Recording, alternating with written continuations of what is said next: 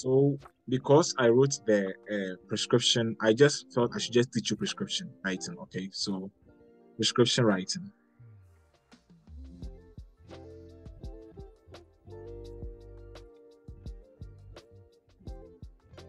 Prescription writing. So as you all are aware of, I expect everybody, every one of you to be aware of the fact that in June prescription writing was tested, and then so it is very essential that you know how to write prescriptions. Okay, it is very essential you know how to write prescriptions. Now, usually prescriptions are written for medications. Okay, prescriptions are written for medications prescriptions are written for medication, sometimes not for medication, but for some um, I mean intervention. Sometimes you write a prescription for a chest tube. So prescription is actually um, a medical writing that what um, I mean gives the bearer of that paper the license to get any tool which is necessary for what medical intervention. So sometimes you write prescription for chest tube, sometimes you write a prescription for um, sometimes what else? What else? What else? Test tokens. Sometimes you have to write prescription for it. Okay. So, but the most common, sometimes you have to even write prescription for syringes. If someone goes to the pharmacy shop that he wants to buy a syringe, they won't sell it for him because for all they know, this patient is going to abuse IV drugs. But if he has um, um, a prescription that says that you should give him the syringe, doctor says he has diabetes, he has to be injecting himself, then they can serve it. Do you understand? Yes, sir. So usually for prescription writing, um, you have a paper like this. Okay? Usually this how it is. Paper like this. And for most hospitals, let me reduce it. So you have the name of the patient. The patient's name is here. I don't like using this font too. Okay, so usually have the oh the name of the patient, patient's name, the demography, the patient's age, then the patient's sex. Okay, then you have the date you are writing the prescription, and then the diagnosis, why you are writing the prescription. You have to fill everything. But sometimes, unknown to you, you may make a mistake.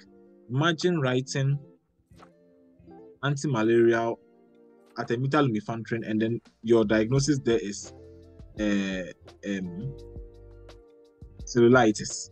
Then it can help the pharmacist to what prompt you that is pharmacovigilance. Okay, prompt you that oh doctor, you your your diagnosis is this, but you are prescribing anti-malaria. Any reason why? So your diagnosis should correspond to the prescription you are coming to write. Do you understand? Yes, sir. Then No. you write your prescription. I'll- I'm going to teach you how to write a prescription, but you write your prescription. And after writing your prescription, you have to cross this. Let's say your prescription this, you have to cross this. Because if you don't cross, someone can also add something which you didn't prescribe. So right after writing the prescription on the prescription pad, you have to cross it. And then here would bear your name, the name of the doctor or the name of the prescriber. And then um I mean the hospital and then your signature.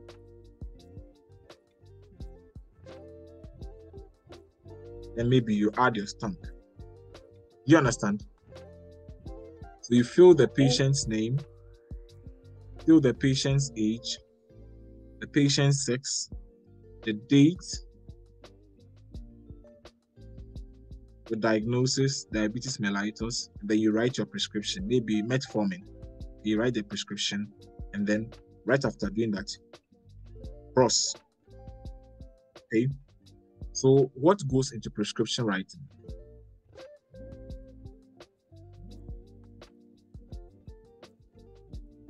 what goes into prescription writing? I think I thought that also. Um, I mean, I, I dealt with that in one of the files I sent you when I was answering the file that contains the GMDC June uh, exam solution. That one I, have not posted on YouTube. I won't, I won't post it. I just posted there on Mand Oski on YouTube. But that one, I think I, I solved it. Good. So, prescription writing. Prescription writing should contain the first thing that should come is the formulation.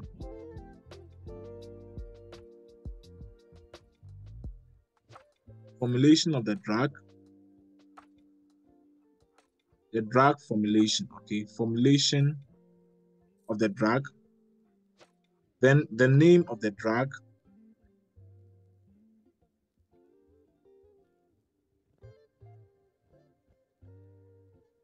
Then the route of administration of the drug,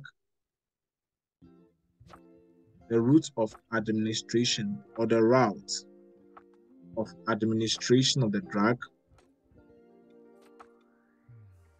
Then the dose of the drug or the dosage of the drug. Then the dosing, the dosing is the frequency, okay? So two times daily, once daily, four times daily, six times daily, five times daily. Do you understand? Yes. You understand? Then, then the number of days or the duration the patient should be on the drug for. Duration of therapy. Do you understand? Now, what do I mean by formulation? So the Yes. drug formulation is what? The way the drug comes, okay? How, how the drug has been packaged or how the drug has been made, okay? So we can have tablets, isn't it? Some drugs are tablets, isn't it? Some drugs are capsules. Yes, it is. Some drugs, can you hear me? I've I've, got, I've gotten an an, an uh, a, a signal that my internet uh, my internet connection is not working. Um, can you hear me? Stop. Yes, sir. So capsules. So you Yeah, have we can. tablets. Come again. You were saying we could hear you. Okay, so tablets, capsules, sometimes some it can come in syrup, suspension.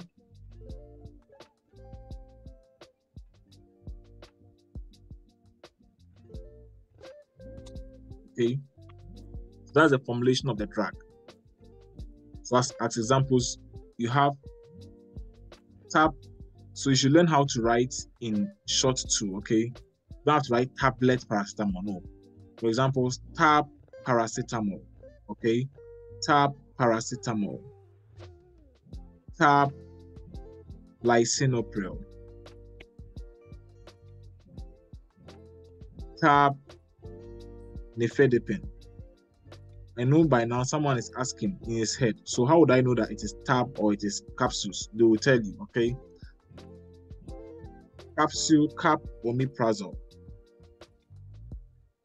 Is that okay? Syrup, Yes. Syrup lactulose. Are we good? Yes. Thanks, Lord. Okay. Then the next thing is what? The name of the drug. I think the name of the drug that I've, I've dealt with it. So the next thing is um the route of administration. If you've been watching American movies so much, you see route. If you've been watching British English, uh, British movies, you see route. And how would you pronounce it if you if you've been watching Kumawood? Yes. Karen, Which route? route route. And then root route. Mm. Won't you say route? I'll say route. yes. Yo. So the route of administration, it can be oral, okay, so per os, oral it can be um, intravenous okay?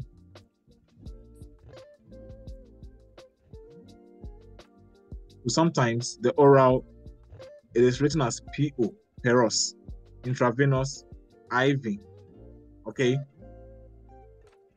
It can yeah. be intramuscular.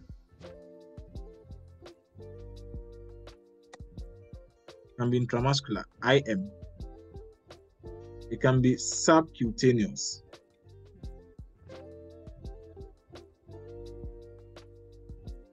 SC.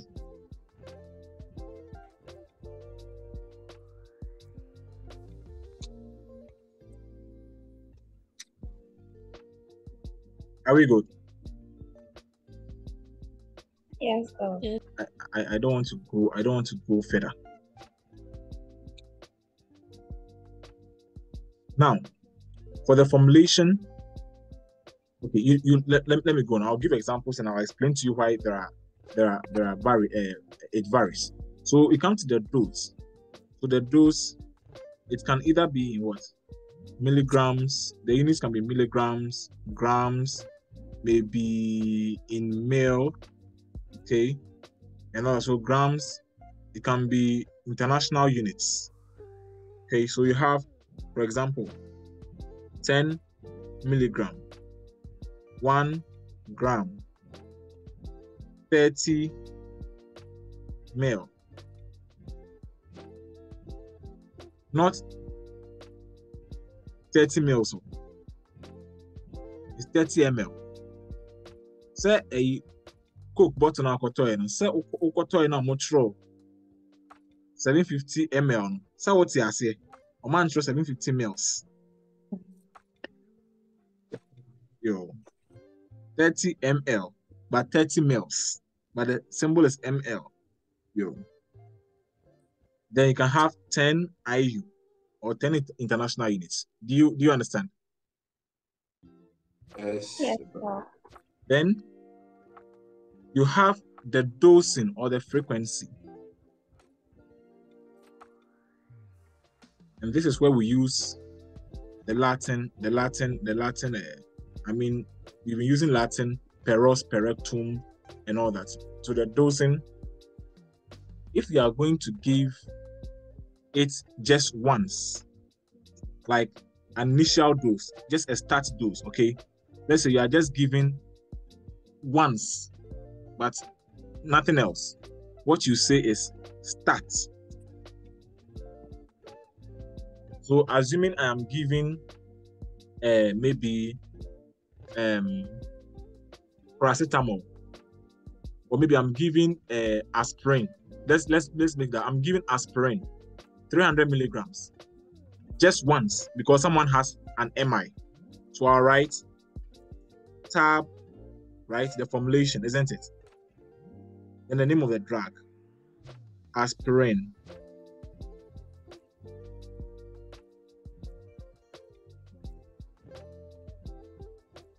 Oral. Then the dose, 300 milligrams. Start. So when you read this, it means that the patient is what?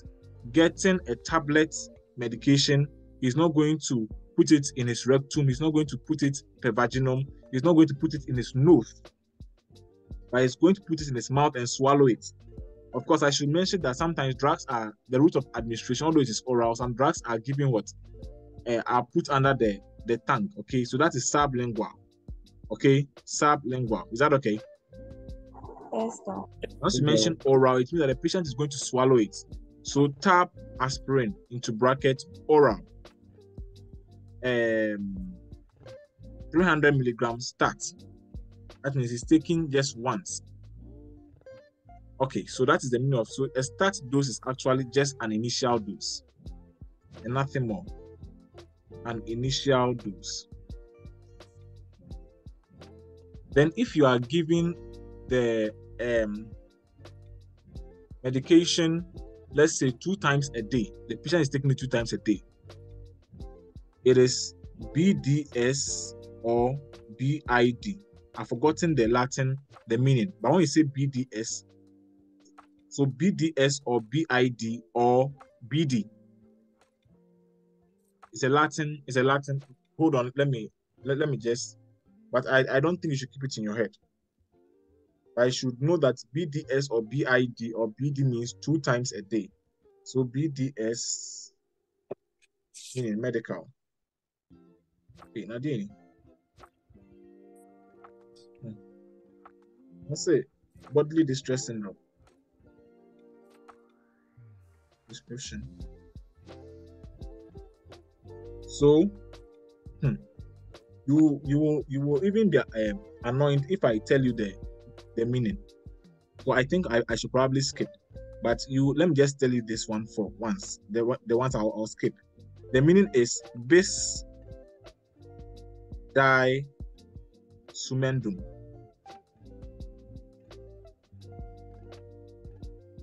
When there is hair CT scan to interpret, you think you, you want to keep this in your head? Hmm. No, no. So BDS or BD actually means what? Twice daily.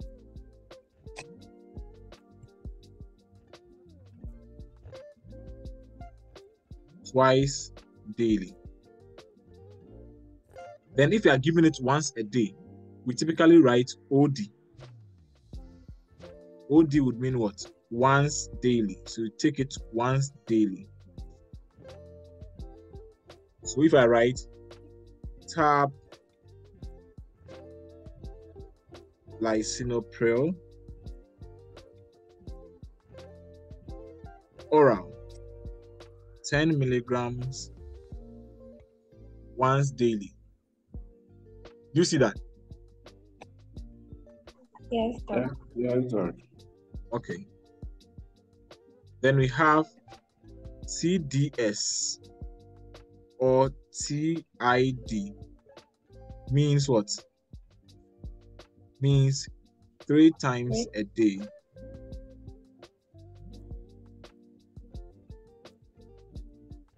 I should be quick to mention that some some some some some prescribers instead of writing uh, BD or uh, those things they write 12 hourly. When they write 12 hourly, it's the same as two times a day, isn't it? Yes, it is. When they write this one, they can write eight hourly, isn't it? Then four times a day would be what? Six hourly. That is QID. Yes, QID. Yeah. And that would mean four times a day. Four times a day. Four hourly. Please take note. Four hourly does not mean four times a day. Four hourly means what? Six times a day, isn't it? Every four hours. Isn't it? Yes, Yes. Yo. Now, sometimes there are some there are some drugs that you give the patient to take whenever he wants to take it, okay? When needed. You you are prescribing the drug for the patient to take when needed, when needed, as and when needed. Then what you say is PRN. Once you write PRN, it means the patient should take it as and when he needs, when needed.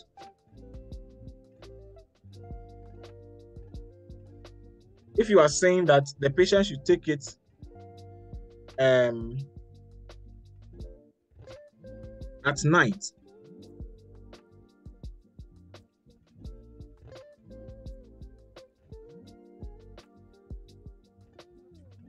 patient should take it at night, that will be nocte.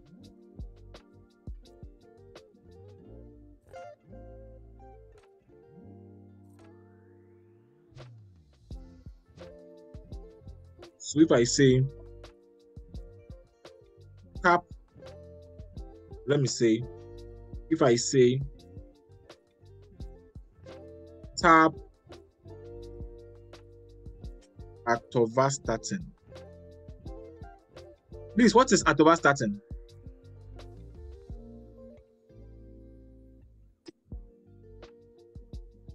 Statin.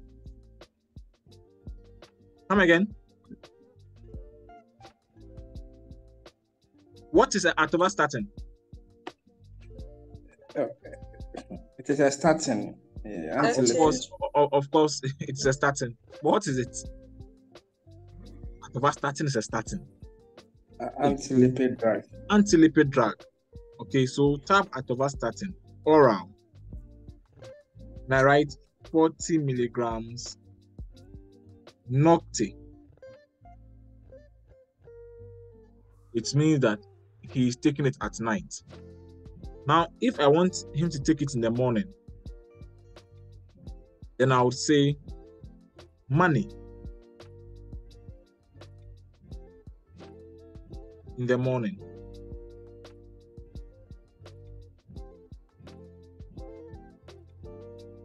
Do you understand? You. Hmm. Then the next thing is what? The duration.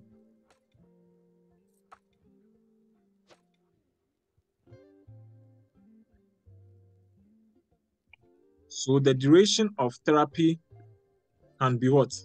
Written in days.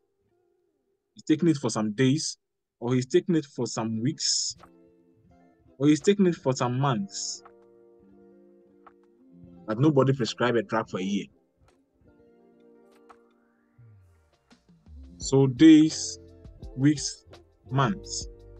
So what we do is that we use that um, poem. Um, I can't say 60 seconds make one minute, 60 minutes make one hour, 24 hours make one day, seven days make one week, uh, 52 weeks make one year, 365 days make a year, 366 days make a leap year. Okay, saa poem no anaa wo wankɔ saa school no bi wokae saa poem no anaa yɛwɔ 2000 no 2000 yɛnkyerɛ saa poem nti nti nti nti ɛyɛ two things either sɛ yɛwɔ 2000 after 2000 anaasɛ yɛka eh, ne sɛn wankɔ saa school no bi debbie delali did you go to that school No, please.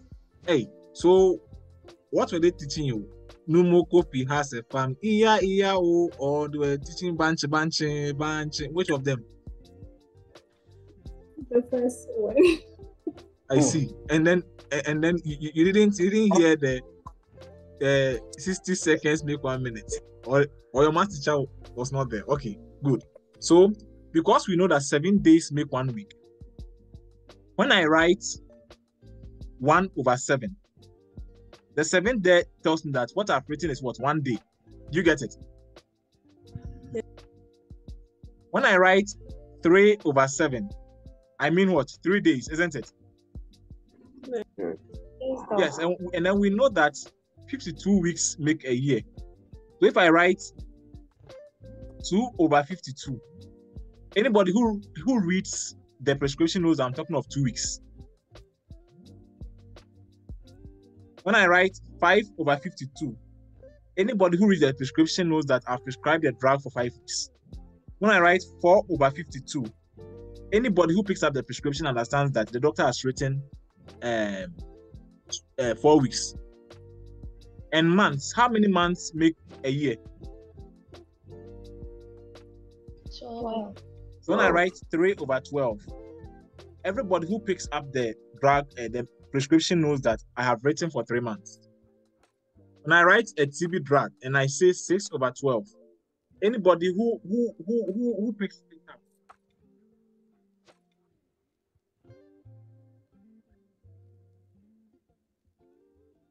know that I've written for three months. Do you understand?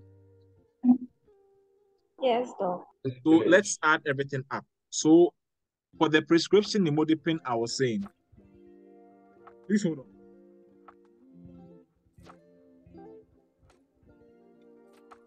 For the nimodipine prescription I was talking about, I said the patient is going to be on it for 21 days or three weeks. So I can write it this way. Tap. Nimodipine.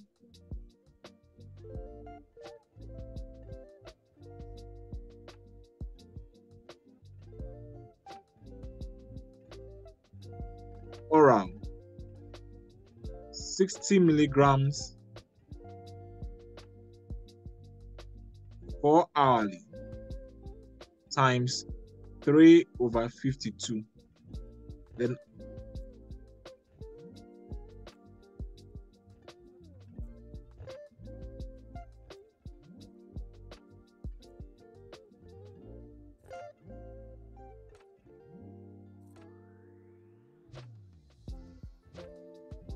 you see that? Yes, doc.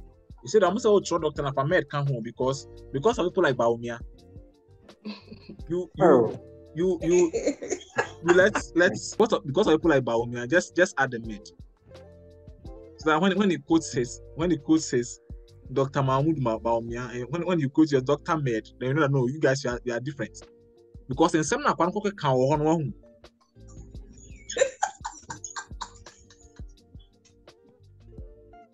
Good. So can we try prescription writing? Everybody, can we try? So you you would write it and send it to me via my DM. Is that okay? Okay, doc. okay, so um a woman has been diagnosed with diabetes mellitus, okay, and then he, she's to take uh, metformin. She's to take metformin tablets, um, 500 milligrams twice daily.